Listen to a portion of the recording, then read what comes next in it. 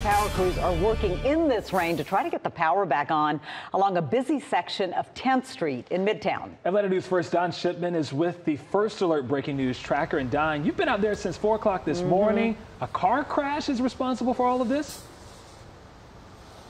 That's exactly correct. And we moved to a different location. We're right near Northside Drive. It is blocked off here. You cannot go up 10th Street.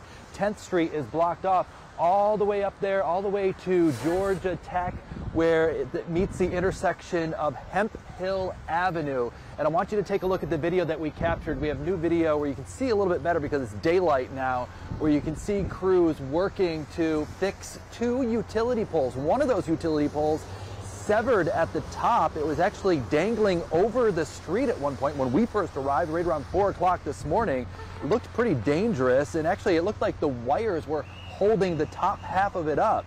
Atlanta Police, MARTA Police, Georgia Tech Police, along with Georgia Power on the scene. Uh, this is all because of a crash, like you mentioned. Not clear how many vehicles were involved or if anyone was hurt. I can tell you though that a lot of customers are without power. At this intersection right here on Northside Drive, the gas station that's over here, they're in the dark. They are not open. Uh, the lights are out and some 400 customers without power. The restoration time, that's been pushed back to 1130 this morning. We're live here with the First Alert Breaking News Tracker in Midtown. Don Shipman, Atlanta News First. Yeah, that